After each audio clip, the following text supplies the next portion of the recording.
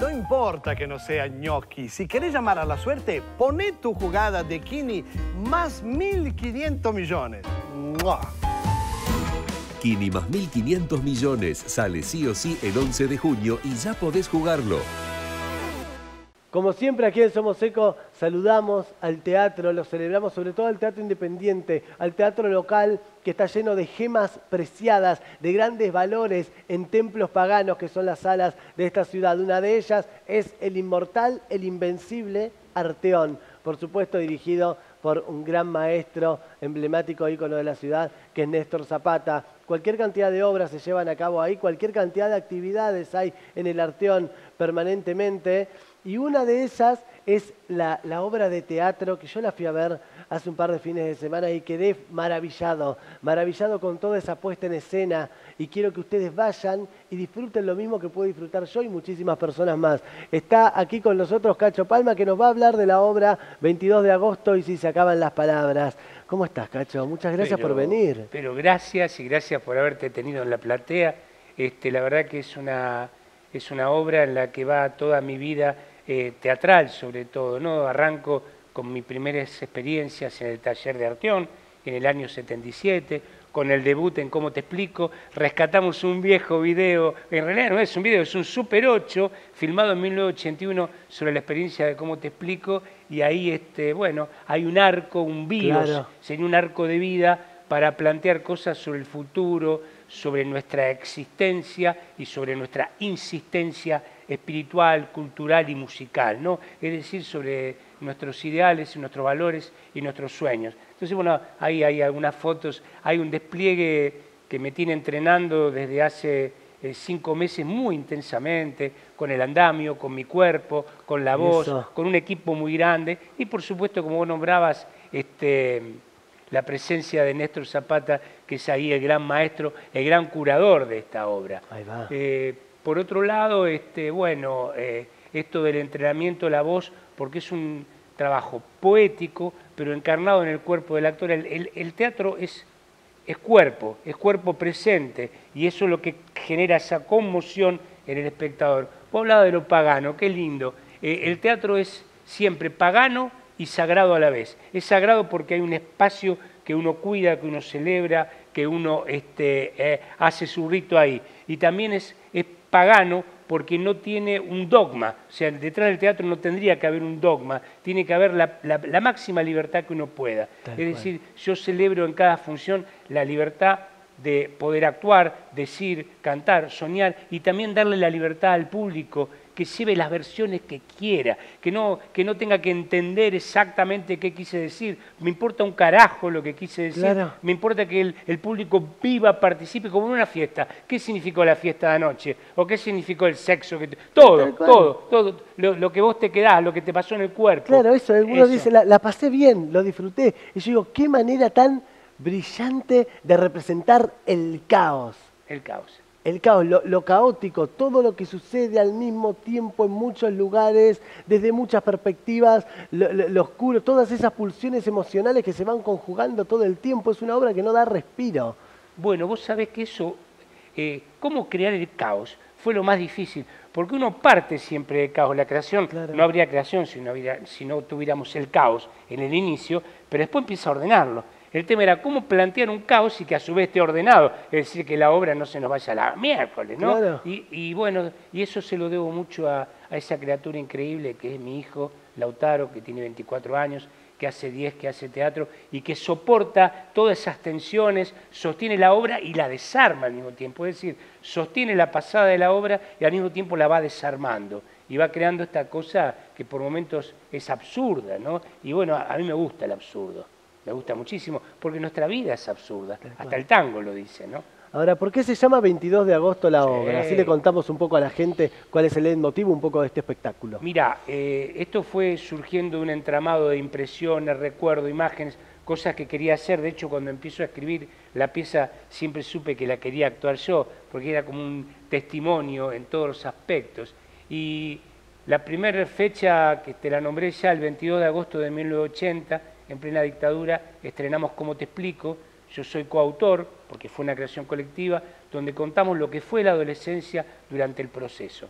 adolescencia oprimida, censurada, donde no se podía hablar de nada, pues fundamentalmente no se podía hablar de sexo, ¿no? que es lo que más le interesa a un adolescente.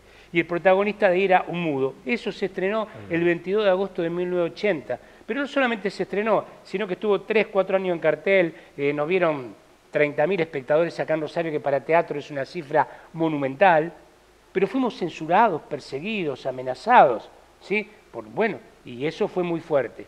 Luego había un ícono que yo quería traer porque este, a mis 14 años participé de una revuelta en la Dante Alighieri de Rosario, donde salieron todos los cursos a la calle a las 10 de la mañana, y fue la mañana en que nos enteramos de la masacre de Trelew. El 22 de agosto de 1972, 19 presos políticos son fusilados en el, pasillo de una cárcel. Ni siquiera tuvieron así este, la imaginativa de hacerlos salir y correr para decir que fue una fuga o simular un enfrentamiento. Los hicieron salir al pasillo a las tres y media de la mañana y los ametrallaron. Quedaron tres sobrevivientes y encarno a esos tres sobrevivientes para contar qué pasó esa noche. Sin tomar, mira, esto es fundamental para mí y para este momento social político. Eh, no a la violencia, sí a la justicia. ¿sí? No a, la impunidad, sí a la verdad. Sí a la memoria y no al olvido. Pero siempre con, eh, con la libertad, con la democracia y el humanismo. Es decir, este, no hay que matar ni someter a nadie, al contrario, hay que hablar, consensuar y volver a crear ese espíritu comunitario. Y vos que estuviste en la sala, sabés que durante esos 65 minutos de obra, más 5 de proyección, 70 minutos, se respira un clima comunitario. Y esto es lo que adoro del teatro, ¿no? Ahora, ¿qué implicó ese desafío, gran desafío, por supuesto no menor, de estar solo en el escenario representando todos esos personajes, llevando al espectador por ese viaje que transcurre en un montón de colinas, en un montón de, vaivenes todo el tiempo. y, colinas, abismos, Claro, y, y, vos solo moviendo toda la escenografía, produciendo los cambios de la escenografía, junto a Lautaro Palma, también colaborando ahí en muchos trazos actorales. Mira, porque por eso yo te decía testimonial, no solamente en el relato, es testimonial en el trabajo del actor, que la gente vaya y vea lo que es el verdadero trabajo del actor, ese trabajo artesanal, cotidiano, este, eh, donde el actor arriesga todo el tiempo y se pone en juego buscando su organicidad, buscando este, lo más real que hay en él, ¿sí? hasta llegar a, a los huesos de cada actor. Y esto para mí es maravilloso, que a mi edad es, un placer, es un gusto, es una celebración que yo a mi edad me pueda comprometer hoy a sala llena, como fue el sábado y el domingo ahí en Arteón, y dar lo mejor de mí. Es decir, es, celebrar la vida realmente, y eso es lo que hace el actor. Y eso es lo que transmite la obra también, juventud, ganas de vivir, vitalidad, aunque el contexto sea fatídico. Fatídico, porque es sombrío el contexto. Por eso con que la luz la luz que aporta la obra, la sinceridad y la poesía, ya con eso me doy, por realizado. ¿no? Y la otra gran figura de la obra es el poeta entrañable César Vallejo, que ahí sí se suscita algo que yo no sabía y que tiene que ver con el 22 de agosto. La figura de Vallejo estaba porque hay un loco que conocí en el 83 en el psiquiátrico que se creía Vallejo o se hacía pasar por Vallejo, nunca supe bien, pero él me enseñó, me enseñó a conocer a Vallejo la cuestión que ya avanzada la obra, un día descubro que el hermano de Vallejo, su hermano querido, su hermano de juegos, muere también un 22 de agosto. Claro, en 1915. Pero como soy de los números, como todo actor, soy caballero, ah, juego con dos números. ¿no? Y el 22 es un número mágico, es un número maestro, ¿eh? justamente. está todo concatenado, está todo constelado al fin y al cabo. Exactamente, sí señor. Sí, señor. Está todo relacionado. Ahora, ¿qué, ¿qué necesario son los espacios para el teatro independiente de la ciudad, porque hay muchísimo teatro, muchísimos actores talentosísimos, directores, dramaturgos, y cada vez hay más salas de teatro independiente y hay más gente que debería empezar a apostar también por estos espacios. Por supuesto, y yo te digo que es uno de los lugares donde Rosario respira. Rosario no es solamente ese cono urbano eh, poblado de miseria y de necesidades que da ganas de llorar a cada momento, no es solamente eh, el lucro financiero y criminal del narcotráfico, porque cuando hablamos del narcotráfico hay un lucro financiero enorme, enorme, porque ahí está el verdadero problema del narcotráfico. ¿sí? Eh, bueno, también es esa ciudad que respira, que respira teatro, pintura, música, y que donde nos seguimos encontrando. Algunos que, que no viven acá. Dice, ustedes están locos que viven a esa ciudad. Sí, pero estamos locos también este, de amor a, la vida, al encuentro, a la libertad y a los buenos amigos. Es una ciudad donde tengo, tengo amigos donde voy y donde puedo encontrarme espontáneamente o programadamente, pero celebrar ese momento. Entonces, bueno, eh, la ciudad respira, la ciudad se muere por un lado, está asfixiada, está ahogada y por otro lado sigue respirando. Y no es eso la tensión de la vida, no vivimos en esa tensión, por eso estamos locos, locos, pero también es una linda locura, que yo la defiendo en la obra, ¿no? Defiendo la locura linda. Es, lo necesario, defender la locura y defender también ese caos. Pienso también, hablando de, ese, de, caos y de locura, cuántas reminiscencias musicales tan hermosas ahí en la obra. Aparece Charlie, aparece Spinetta, aparece creo que hasta Lito Nevia, muchísimos músicos. No, mira, fundamentalmente lo que aparece es el espíritu de los 70. Yo rescato como transmisión, por eso está mi hijo que tiene 24 años, transmitirle a la gente joven que no era, porque si no se piensa a los 70 solamente como, como violencia y terrorismo, y había un espíritu este, tan lindo en la música, en el arte, en la poesía, en los encuentros de la gente, en los happenings, en, en las primaveras. Imagínate que este, nosotros vivimos el nacimiento del rock nacional, que eso se llamó música progresiva en ese momento, para contraponerlo a lo que llamábamos música complaciente. En el Teatro Real, acá a cuatro cuadras, en Oroño y Salta, yo vi la ópera Sudamérica de Arco Iris, este, la Villa de Box Day, Invisible con Espineta. Espineta estrenó acá Durano Sangrando, la primera versión de Durano Sangrando la hizo acá en Rosario. Nada menos. Y yo, la, la entono como puedo, pero la entono con el alma. No soy cantante, soy actor bueno, está Durano Sangrando, está Bajan, está por supuesto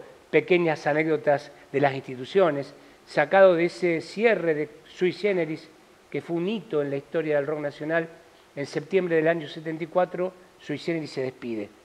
Y hay una película, nosotros sacamos, extractamos de ahí, donde la despedida oficial fue en el Luna Park, pero Sui Generis vino acá a Rosario, el Teatro de la Comedia, se despidió acá y justo en la película aparece en las filmaciones del Teatro de la Comedia. O sea que hasta ahí está Rosario, mira. Ahí vamos, nada menos. Nada menos. Nada, menos. Entonces, 22 de agosto, y si se acaban las palabras, próximas funciones, ¿cuándo son? Los cuatro sábados de junio a las 21 horas en Arteón, una galería que está siendo recuperada, Sarmiento 778, en una esquina que ha vuelto a vivir, en este Rosario que respira, Córdoba y Sarmiento ha vuelto a vivir, hay un proyecto hermoso ahí en la favorita para disfrutar, y nosotros todos los sábados a las 21 horas si vienen antes o si sacan la entrada antes, mejor porque hasta ahora se está llenando. ¿Quién dice que no llenemos los cuatro sábados y demos una sorpresa, no? Claro que sí, después se repita en julio, en agosto. Bueno, para, para, que en agosto nos vamos a Buenos Aires. Ya tengo, tengo dos meses de temporada en Buenos Aires, en un teatro independiente importante de allá, que es el extranjero. Este, y después nos están invitando, febrero y marzo, a París y a Madrid. Qué genialidad. O sea que, va, tiene proyección la obra. por supuesto, por supuesto, porque es una obra fabulosa. Bueno, gracias. Porque es fabulosa. Así lo es y así estaremos yendo que yo voy a ir de vuelta. Pero cuando quiera, recontra invitado. Quiero y tu equipo también, esta gente tan amorosa. Quiero volver a ir a ver ese espectáculo, lo necesito, te digo, Cacho. Gracias por haber venido. Gracias a vos, mirá el espacio que me das. Un placer. Muchas gracias, muchas gracias. A vos, a Néstor Zapata, por supuesto, a toda la Arteón. De verdad, gracias. Ahí estamos viendo un poco, un poco el programa. Ahí, ahí le están haciendo un plano. El programita de mano. Todavía somos tan antiguos que hacemos programa de mano para que la gente entienda bien qué es el 22 de agosto y qué estamos celebrando. Y aparte todos los agradecimientos, porque en escena estoy solo, a veces acompañado por un equipo de 10 personas trabajando. Y bueno, y la gente también se lo lleva de souvenir, por supuesto que sí. Sí, señor. Muchas gracias, Cacho. Gracias, querido. Vamos a una brevísima pausa, continuamos en breve con más Somos Eco.